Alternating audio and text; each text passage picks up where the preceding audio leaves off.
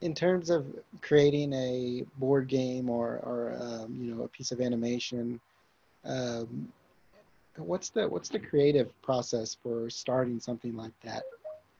Well, um, you'll you'll be surprised that the first thing is the same as a movie. You need to come up with a story. Mm-hmm. What's the story of the game? What's the story of the animation? And um, I don't know. Some people just come up with a name and they try to figure out how that's going to develop.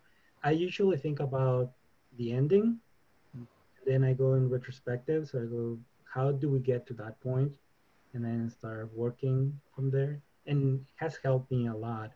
And having a vision of the end and then how do we get to that point the what i noticed when i was doing uh, the research for the board games is that uh, for a lot of people uh, doing a game it was just to come up with an idea make the graphics look according to the subject that you were interested in and make it into a game that is called it's a it's a technique of a game that is called Who Gets There First, like Candyland. Mm-hmm. Candyland is a Who Gets There First game, right? So there's really nothing, there's no substance behind the game. It's just this is your pawn. How fast can you get to that point? Oh, but the subject is, I don't know, um, um, losing weight, mm-hmm. right? And then, but you know how those games are everything just relies on luck. You throw a die and see what happens. There's no strategy behind it. Mm-hmm. So I didn't want to make a game like that, but there's a lot of games like that. So I started studying uh, a wave of games that became popular around the turn of the century. That they're called uh, Euro games. There's this huge wave from Germany of new designs and new structures. So I started researching those and I came out with the techniques for my games. And in the process, I was able to include all the social aspects that I wanted. So again, it's coming up with this story is crucial. And then how do you establish the beginning, as a story, the beginning, what happens in the middle, I mean, all the dynamics of the game, and then how is it going to conclude? Um, in one of my games, we have characters that um, they don't have a player. They move according to the throw of the die. So if you throw a six, those independent characters also move, but no one controls those characters. Oh. And one of the games, the, the character that I'm talking about is the uh, immigration officer. Hmm.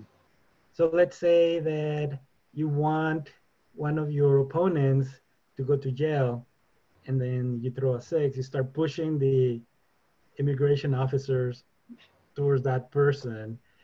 Uh, but if they throw a six, they will start pushing it backwards. So those those characters are independent, and I like that aspect because it's almost like it's almost like a computer game.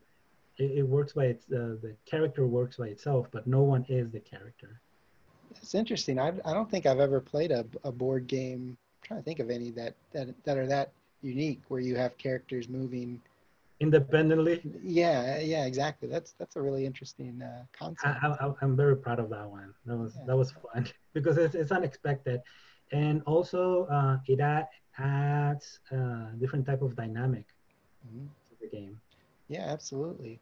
And you know, video, speaking of video games, um, because I mean that's a that's another one that that I get questions about all the time. Is oh, I, students want to be, they want to design characters for video games or they want to work on video games. Um, that's such a popular thing that wasn't maybe not so much years ago. So what what what um, you know what what ideas or thoughts do you have for students that want to get into uh, video game development or creating characters? Yeah, uh, well, and I'm talking by experience because um, I also get parents bring their their kids and wondering about animation and video games and what I I learned talking with the students is that um, they love watching animation and they love playing games, but they never made a game or an animation. And there's a huge difference between those things. Consuming the product and enjoying that product is different than learning all the tools to do it. And talking to some colleagues in CalArts, uh, they say that oof, like 60, 70% of the students um, leave the program the first year because it's not what they were expecting. Mm. I don't know what they were expecting, but doing animation is hard. It takes a lot of patience, concentration, and it's it's an investment of time. The same thing with doing a board game. Uh, sorry, a game, a video game. Mm-hmm. And for video games, I think they need to identify first what's the aspect of the game that they're attracted to. Because there are different divisions. Do they want to be the programmer? Do they want to be the person who does the layouts? Uh, the person who creates the story? Or like you said, the environment and the characters. So that's more approachable for an artist, right? The, the characters and the backgrounds and special effects. Mm-hmm. Um, it's rare that just one person will be able to do everything professionally. Uh, they, they will have experience in some aspect.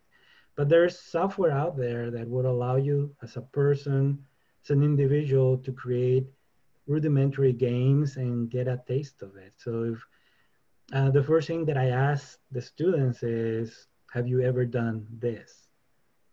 Uh, do you experiment with that? Do you play with software that lets you build tiny games? And if they haven't done it yet, I say, what are you waiting for?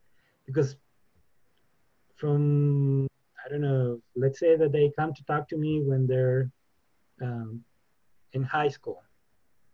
By the end, if they haven't done all of that, professionals in the field, sometimes they're, they already spend their whole life playing with tools and doing art, and they're just using the, the degree to be specialized in something that they love to do for, they've been doing for many years. The same with animation. There's free software all, all over the internet. It's just a matter of are you really interested in doing animation? Probably it's not gonna, going to have uh, Pixar's quality, but it's still going to be the same process. It's just one frame at a time, creating characters, creating a story, uh, time consuming, and most people have not gone through that process. So they don't know if they enjoy it. They jo- enjoy watching the movie, but they don't know if they enjoy doing the project uh, for example, when I started, I was interested in both subjects simultaneously with animation and and games. And strangely enough, back then, Adobe came out with a program that it was it was called Flash. Now it's called Animate. And Flash was a prog- program that allowed you to do both things. You could build games and you could also do animation and I tried to learn as much as I could uh, on both subjects. And eventually I learned that if you really wanted to make a sophisticated game, you needed to get into programming. And I studied that a little bit, but I couldn't get to the point of making very complex things because that's a whole discipline. Hmm. So that's why video games and animation require collaboration. those are endeavors that not just one person is going to be able to do. Right, but like you said, I mean, it gives you a taste of what it means to be an animator or, or a, yes. Um, yeah. video game designer when you can. And I remember those Flash games. You know, uh, I guess that was early 2000s. That was, those were so popular, and it made mm-hmm. it accessible to anybody who didn't have you know the fancy computer or, or equipment. They could, you know, people more so at their homes could make games and animation, even though they were a little crude compared to big budget projects. Yeah, um, so for example, the game that I built was something closer to um, Asteroids. I don't know if you're familiar with that Atari yeah. game. Yes. So it was something like that, that simple.